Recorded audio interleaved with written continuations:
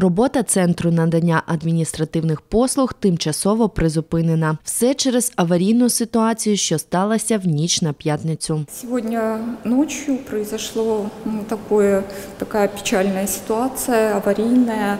Позвонили в 6 утра і сказали, что прорвало трубу отопления. Мы уже были в полседьмого здесь, в полседьмого стоял пар. Было по щиколотку воды. Первое, что мы начали делать, это, конечно, спасать технику, потому что она была вся, в общем-то, испарена. Соответственно, было первое, это что выносили технику, потом спасали мебель. И ну, на сегодняшний день была перекрыта эта труба. Ну и сейчас вот такая у нас ситуация сложилась. Я думаю, что ближайшие два дня ЦНАП работать не будет. С понедельника, если техника высохнет, просохнет, мы будем э, пытаться ее запускать. Что будет Дальше будем надеяться на лучшее. Э, Паспортный сервис работает, то есть оформить паспорт, забрать паспорт заграничный, ID-карточку можно в режиме работы ЦНАПа.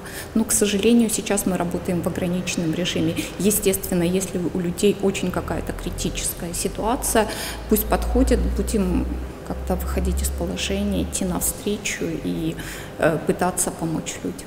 Потік гарячої води близько 11-12 години ночі почав заливати приміщення ЦНАП. Якщо б аварія сталася в робочі години, то персонал та відвідувачі могли б отримати опіки. Наразі трубу перекрито, наслідки ліквідовано та підраховуються збитки. Найближчим часом роботу ЦНАП буде відновлено.